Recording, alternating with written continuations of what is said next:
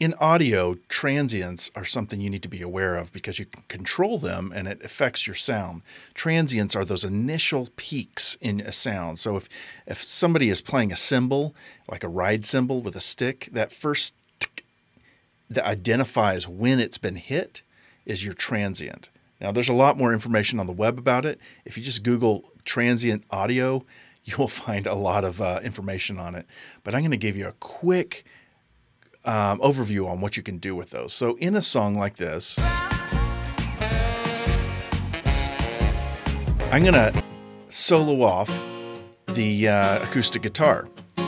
And I have a transient shaper. I'm using a program called Neutron 2. It's by iZotope. And this transient shaper uh, lets me make those transients at the beginning of the waveform either, either larger or smaller. So watch here.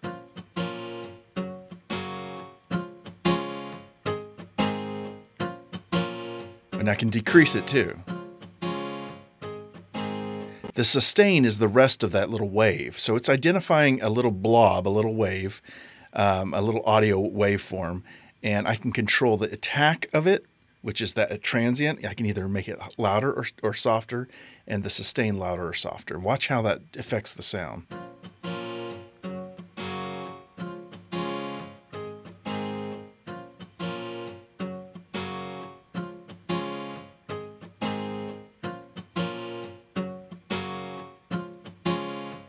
Pretty cool, isn't it?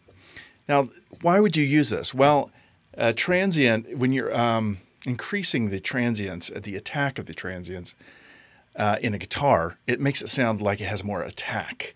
And it sounds, oftentimes, it sounds closer to you.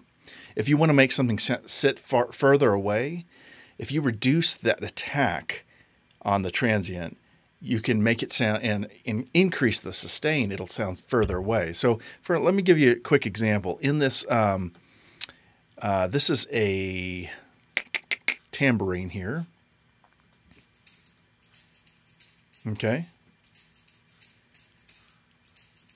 Now I have a, a transient uh, shaper here in Neutron. I can use this, and we can. I'll show you how, the difference in how it sounds. I'm going to increase the volume.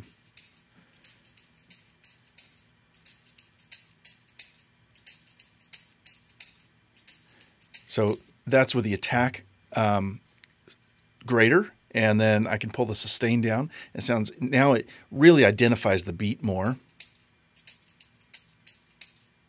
but it sounds very close. In this case, I want the tambourine to be kind of further away, so I'm going to do the opposite.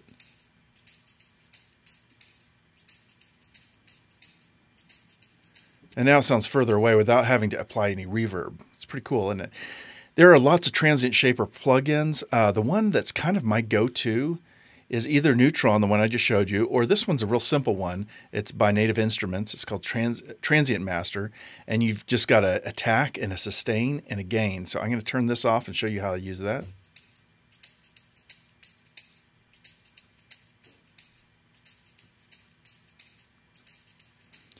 And then you can make up the gain as well if you want. All right, I hope that helped you. Uh, it's something that you need to be aware of. You're going to hear about transients a lot. This is your quick tip of the week if you want to learn more about how to music, how to produce your own music, and how to record your songs as a singer songwriter. Let me know. Join our class. We would love to have you. All right, talk to you next week. Bye.